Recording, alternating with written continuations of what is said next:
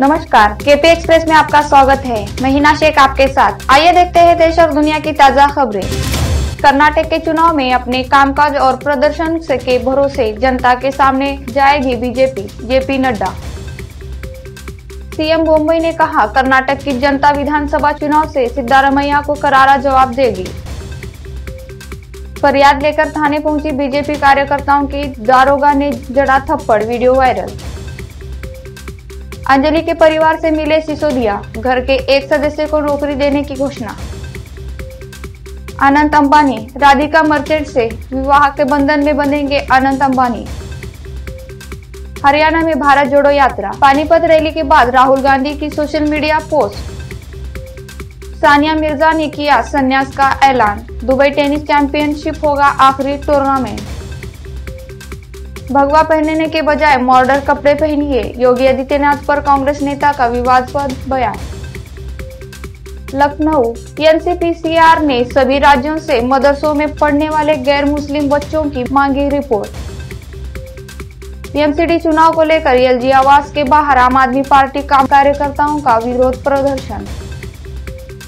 Delhi airport पर खराब मौसम के कारण देरी से लैंड होंगी 12 फ़्लाइट। पूर्व मंत्री हाजी याकूब कुरैशी और उसका बेटा दिल्ली में अरेस्ट। मेरठ पुलिस ने घोषित कर रखा था इनाम। राजकोट, भारत और श्रीलंका के बीच तीसरा टी मुकाबला आज। जम्मू कश्मीर, श्रीनगर कारगिल लेह मार्ग पर बंद हुआ। जो जिला दर खराब मौसम वजह। तुनिशा शर्मा केस में आरोपी श्रीजान खान की जमानत याचिका पर सुनवाई आज। अगले कुंभ से पहले गंगा यमुना नदियों में गंदा पानी जाने से रोका जाए Prayagraj high court Delhi airport से उड़ान भरने वाली 34 फ्लाइट्स खराब मौसम के कारण प्रभावित। लश्कर का अरबाज अहमद, मीर आतंकी घोषित, कुलगाम में महिला शिक्षक की हत्या में था शामिल। पंजाब कैबिनेट मंत्री फौजा सिंह सरारी ने दिया इस्तीफा, निजी कारणों का दिया हवाला।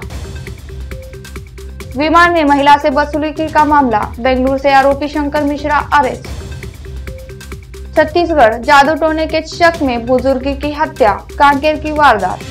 केपी एक्सप्रेस में इतना ही। देश और दुनिया की ताज़ा खबरों के लिए देखते रहिए KP news twenty four into seven